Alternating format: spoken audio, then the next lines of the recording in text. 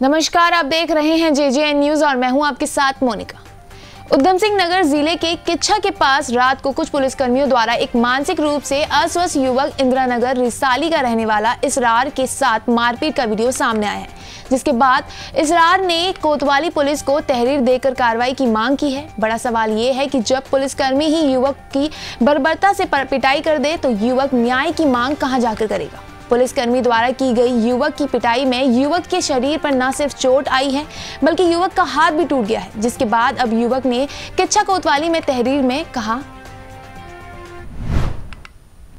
चार पाँच जने थे। बारात चला के आ रहे थे महाराजा बहन के साथ। महाराजा बहन के सामान उठा के थैली लगा के मिल गया। वो एकदम आ गए छिपटी लेके मुझे मारा हाथ तोड़ दिया। उंगली टूट गई भी है।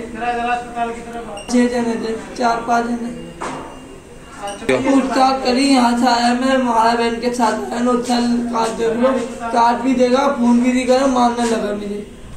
तो वहीं कोतवाल अशोक कुमार ने कहा कि युवक की तरफ़ से एक तहरीर दी गई है। तहरीर के आधार पर मामले की जाँच की जा रही है और जाँच के बाद दोषियों पर कार्रवाई की जाएगी।